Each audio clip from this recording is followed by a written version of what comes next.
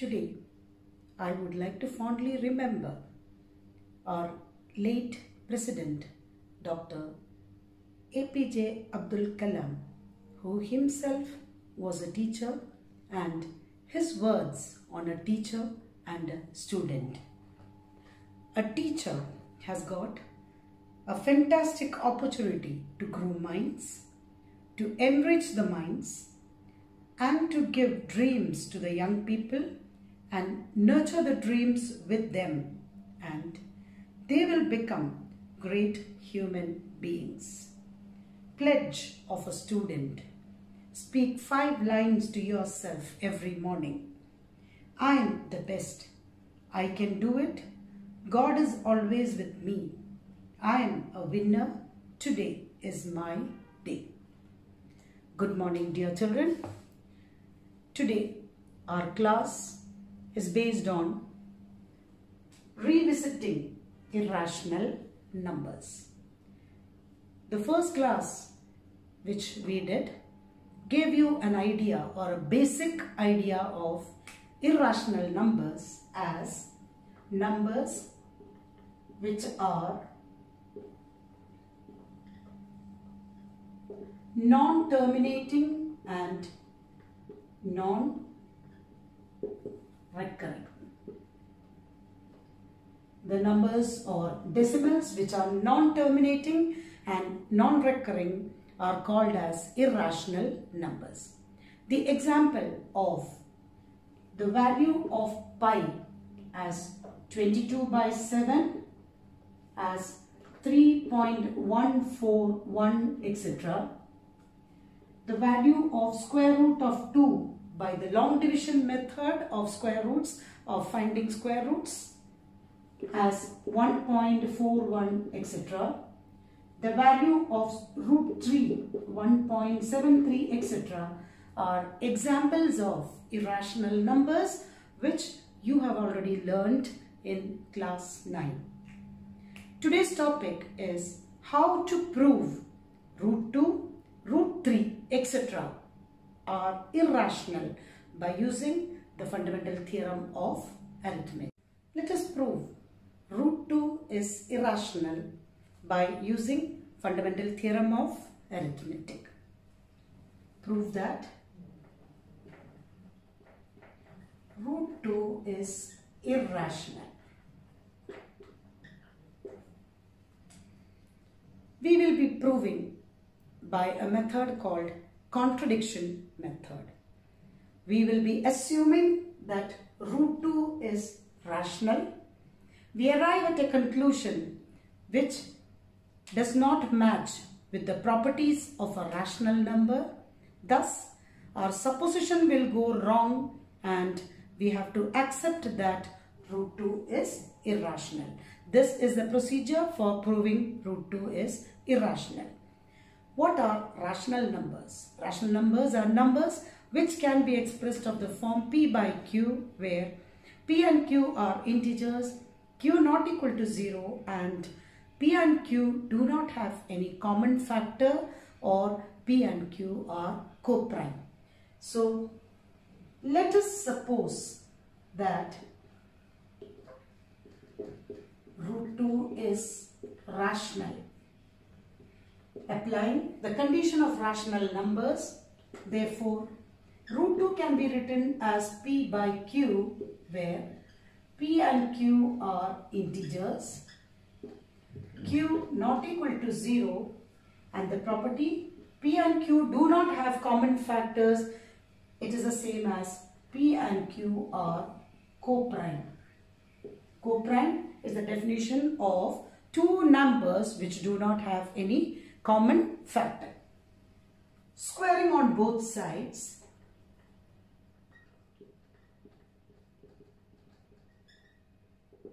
root 2 the whole square is the same as p by q the whole square.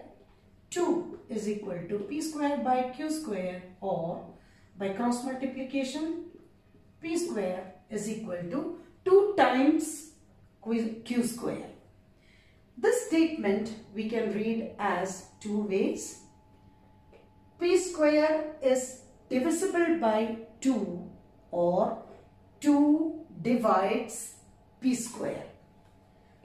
The number 2 divides p square. That is, any value of p we take. 2 divides p square. Let me take the example as p as 10. The concept of 2 divides p square is the same as 2 divides p square is 10 square 2 divides 100 or 100 is equal to 2 into 50. That is the logic of 2 divides p square. From this we can derive 2 divides p also.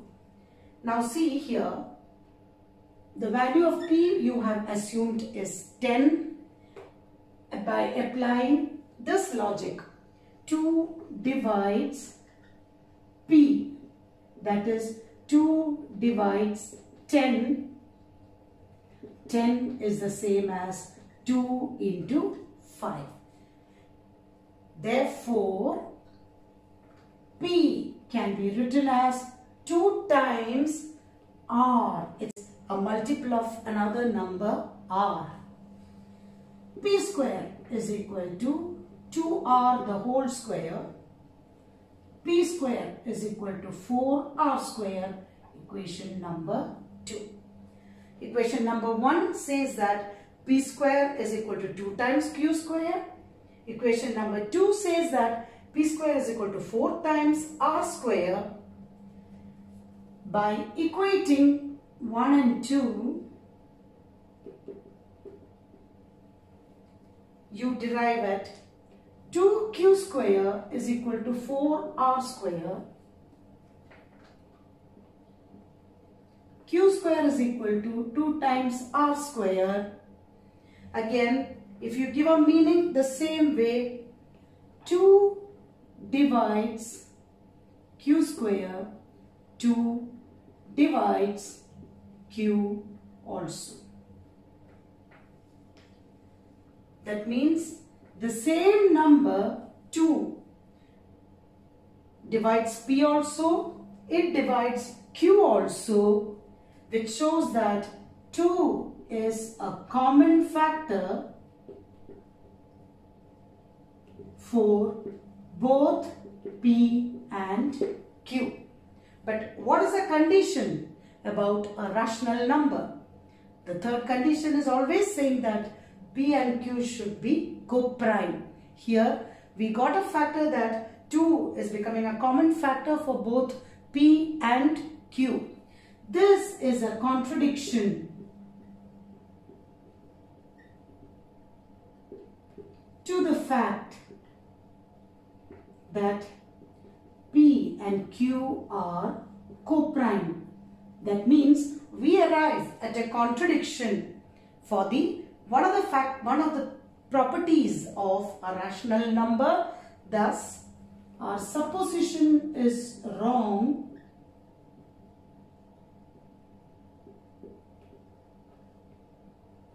Hence, root 2 is irrational. This question can be a three mark question even for the terminal examinations. It's a very important property regarding root 2 is irrational by the fundamental theorem of arithmetic. Let me explain one more with root 5 or root 7 or root 3 so that you can complete the remaining exercise questions of a similar ones by yourself. Let's prove. Prove that root 11 is irrational. Proceeding the same way, let us suppose that root 11 is rational. That is, root 11 can be expressed of the form p by q where p and q are integers, q not equal to 0 and P and Q are coprime. Squaring on both sides.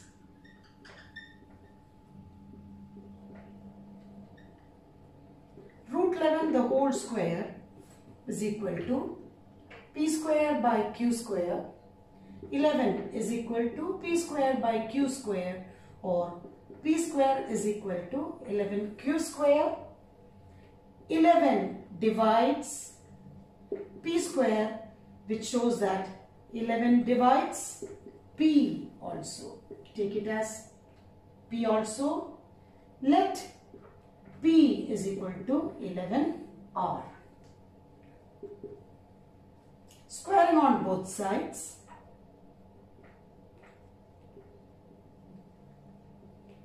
P square is equal to 11R the whole square.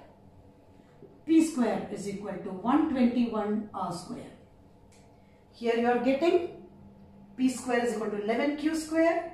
P square is equal to 121R square by equating 1 and 2 11q square is equal to 121r square 11 and 121 q square is equal to 11r square. The same explanation? 11 divides q square. 11 divides q also. Here we got 11 divides p. Here you got 11 divides q. That is p and q have a common factor 11 this is a contradiction. This is a contradiction that p and q are coprime. Hence our supposition is wrong.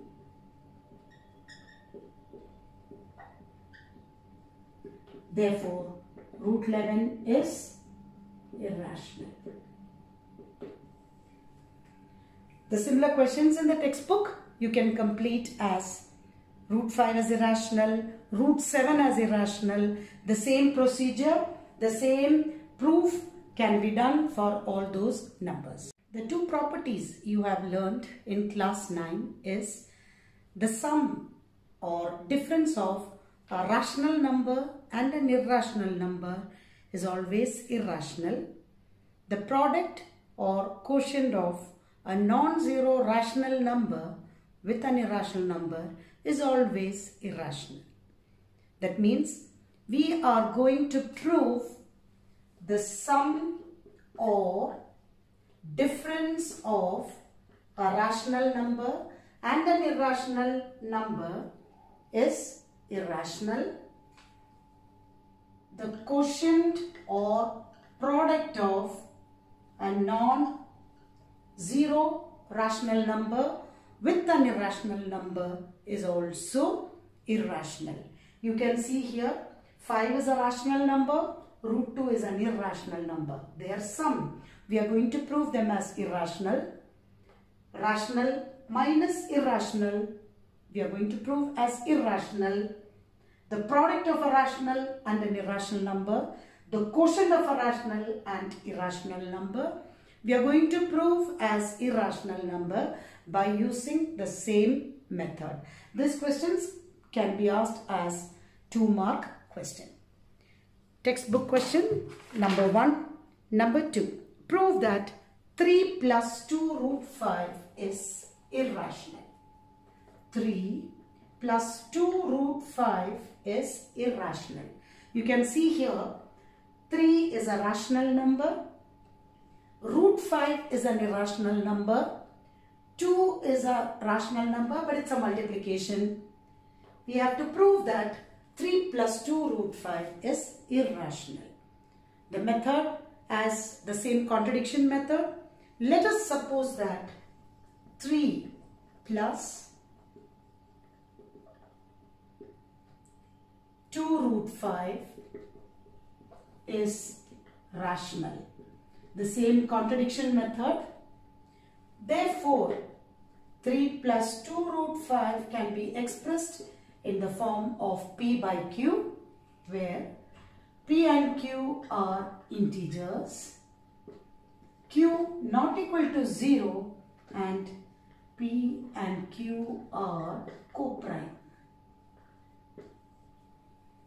Here the next step, we need not square.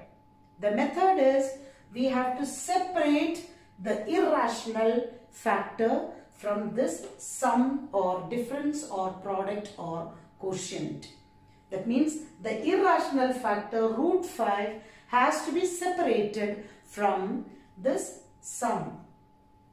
2 root 5 is the same as p by q minus 3. 2 root 5 is the same as by LCM p minus 3q or root 5 is separated as p minus 3q by 2q.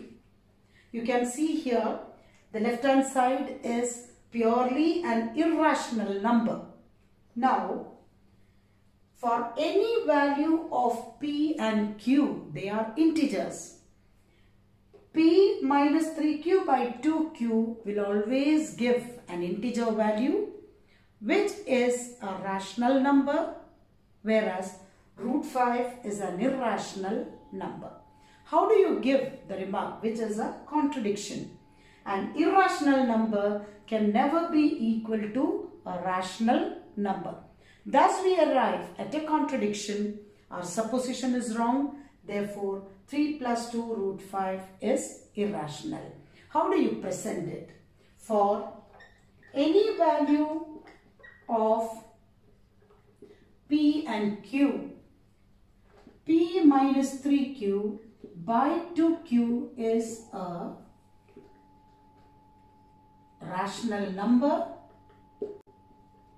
Since we have an equality symbol which proves that root 5 is also rational but it has been proved that root 5 is irrational. For any value of p and q, p minus 3q by 2q is a rational number. Therefore, root 5 is also a rational number. This is a contradiction to the fact that root 5 is irrational. Therefore, our supposition is wrong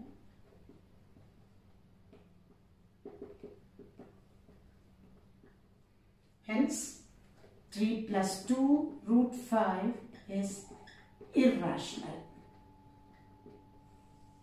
So, any of these problems when you are given a sum or difference of a rational and an irrational number is given, you have to separate the irrational factor onto the left hand side and the other expression onto the right hand side. The conclusion you can always give as for any value of P and Q, the right hand side will take a rational number. The left hand side is an irrational number. An irrational number becoming a rational number is a contradictory statement to the fact that root 2 that the number is irrational. Hence, we arrive at a contradiction. Our supposition will go wrong. Therefore, 3 plus 2 root 5 is irrational. With the product, prove that 7 root 5 is irrational or prove that 7 root 5 is irrational.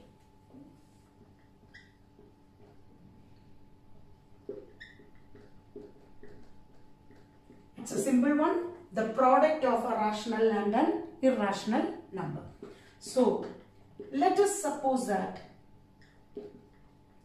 7 root 5 is rational. Therefore, 7 root 5 can be expressed in the form of p by q where p and q are integers, q not equal to 0 and p and q are coprime. Following the same pattern, no need of squaring on both sides, just only separate the irrational factor root 5 is the same as p by 7q. The conclusion says for any value of p and q, p by 7q is a rational number. You can also write in this way, but root 5 is an irrational number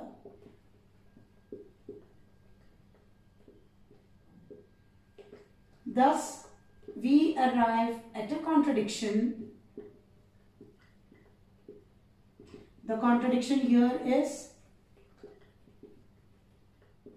we arrive at a contradiction. The contradiction here is an irrational number becoming equal to a rational number. The symbol used, we got it as equality.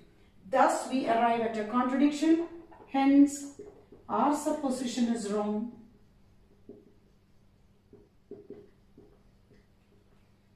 Therefore, 7 root 5 is irrational. This can be asked as a two mark question for any exam. Last topic in this lesson, revisiting rational numbers and their decimal expansion.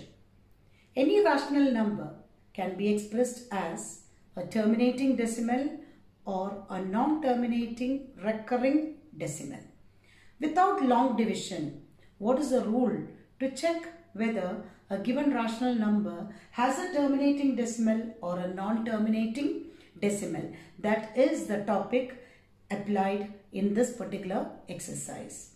Let me generally define. Let P by Q be a rational number in the standard form. In the standard form means P and Q should be co-prime. They should not have a common factor. Let P by Q be a rational number in the standard form. Then, if the prime factors of Q are of the form 2 raised to m, 5 raised to n, then the rational number P by Q will have a terminating decimal. The second case, if P by Q is a rational number in the standard form, the prime factors of Q are not of the form 2 raised to m 5 raised to n. Then the decimal expansion will be non-terminating repeating.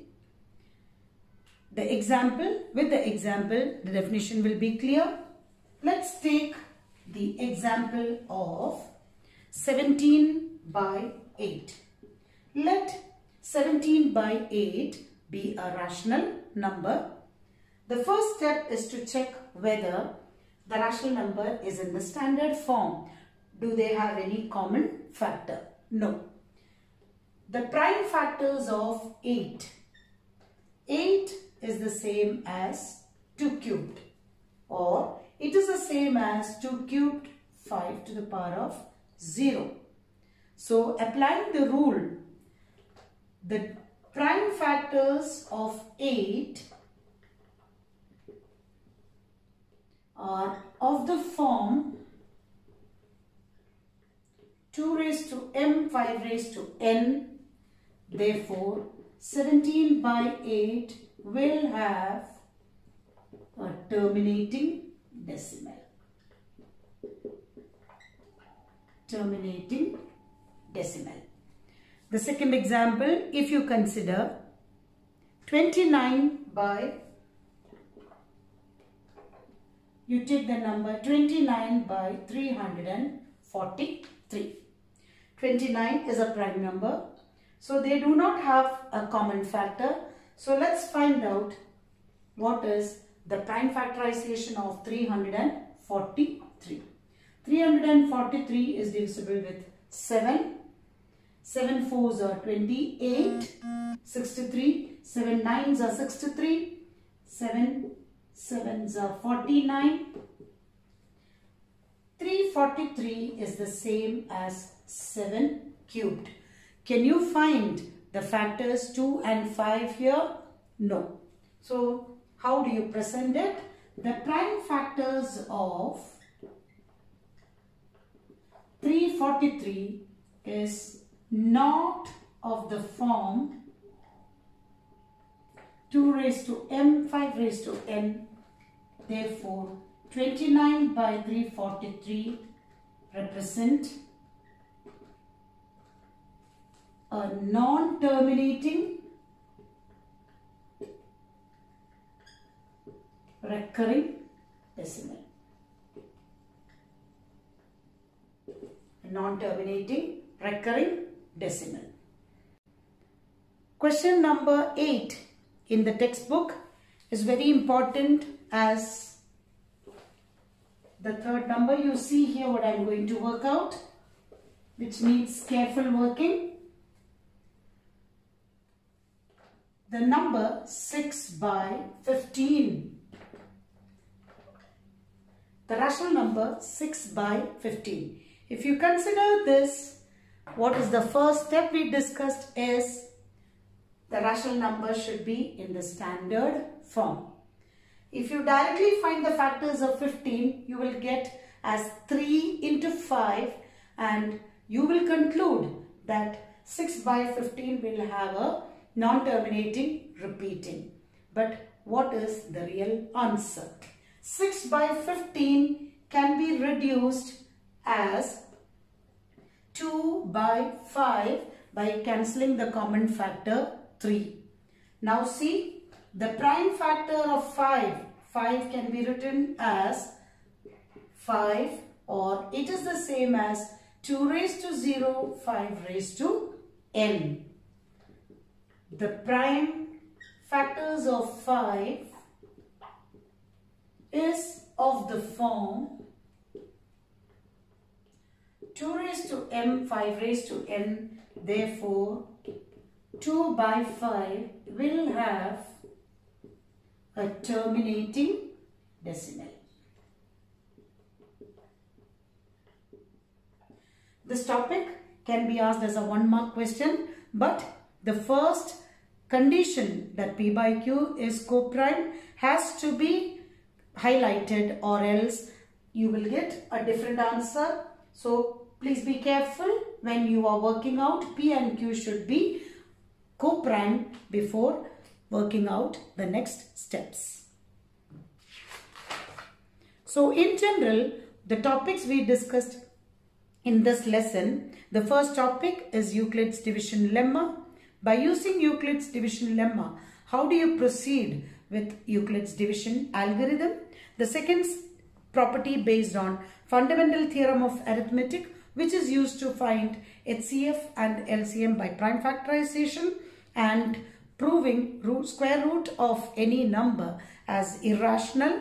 Sum and difference of a rational and an irrational number is irrational product or quotient of a non-zero rational number with a rational number is irrational. And the last topic as to find the decimal representation as terminating or non-terminating repeating by checking the prime factors of the denominator.